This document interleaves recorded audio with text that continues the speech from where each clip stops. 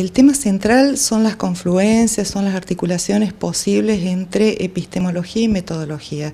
Cómo pensamos, cómo trabajamos. Se va a estar viendo principales líneas de pensamiento epistemológicos ligados a algunos temas puntuales metodológicos. Por ejemplo, uno habla de operacionalización de variables, uno habla de construcción de tipologías, esto está anclado en una línea de pensamiento.